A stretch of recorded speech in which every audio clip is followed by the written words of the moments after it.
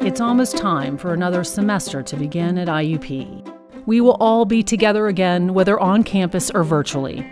It's not the way we wanted things to be, but it's what's best at this time. For those coming back to campus, we want to highlight some of the safety precautions that will be in place. We've been busy making sure our campus is as safe as it can be so that you are as safe as you can be. And frankly, you deserve that. Staff from our maintenance, custodial, and health services departments, plus the offices of housing and dining, have been working hard getting the campus ready for you, and we can't thank them enough for their time and dedication. To help each student do their part in protecting themselves and others, every student will receive a student safety kit. The kits contain washable face coverings, hand sanitizer, a thermometer, tissues, and more information on other ways to stay safe. Masks or a similar face covering are required when anyone is inside any campus building or outside when social distancing is not possible. That goes for students, faculty, staff, and visitors. It's a small way for each of us to make a big difference. Many lecture classes will follow a hybrid model, which means they will be divided into smaller groups that rotate between being physically present in the classroom and being connected via Zoom or similar technology. In most of our classrooms, we have installed Meeting Owl Pro smart cameras, which can capture 360 degree video as well as audio for a better online experience.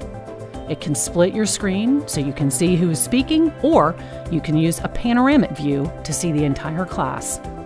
Signage has been placed asking everyone to maintain a safe distance from others.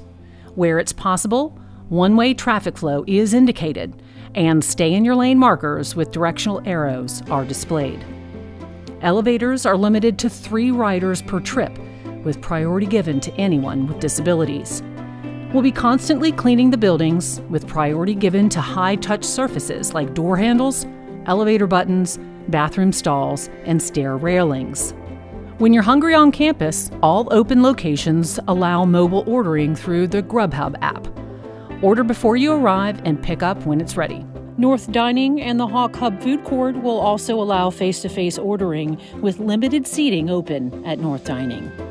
The pods will still be open for limited groceries, and you can get a grab and go bag at Folger Dining Hall. Most students who live in residence halls will have a private bedroom or bedroom spaces. Some students will also have a private bathroom. We'll also be cleaning and sanitizing the gathering spaces in all the buildings so you can still work together at a safe distance. If you need to visit the health center, you'll need to make your appointment ahead of time. No walk ins will be allowed. You can also call the health center and request a telehealth visit where you can talk directly with a nurse practitioner or physician. You'll also see temperature check kiosks around campus available for your use. They are not mandatory, they're simply for your own quick and accurate discretionary use. The library will remain open to students. You'll need to request books you need at the front desk. Study spaces will be limited and spaced for social distancing. Java City will be closed. Most areas and offices in the Hub will be open with limited operations. The Hub Fitness Center will be open with limited hours. Wellness checks will be performed when you arrive, and it will operate under limited capacity to allow for appropriate social distancing guidelines. The co op store will be open August 14th and 15th from noon to 4 p.m. You can pick up books that you ordered online. Other shopping will be allowed at limited capacity. Things are still happening around campus in person and virtually. Check out Crimson Connect or IUP's social media channels for more information. We don't expect you to stay on campus all the time, and many of you live off campus but we all still have a responsibility to protect ourselves and others, no matter where we go. If you spend time at restaurants or stores, please follow the same precautions that you would on campus.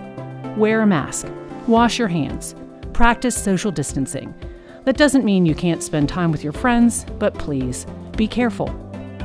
If we work together, we can get through this.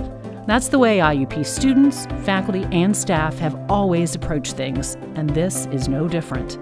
Help each other, and help stop the spread.